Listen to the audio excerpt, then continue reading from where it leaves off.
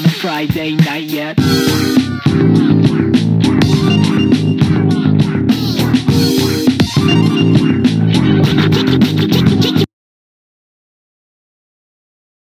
It's time. We've all been waiting. But now the wait is over.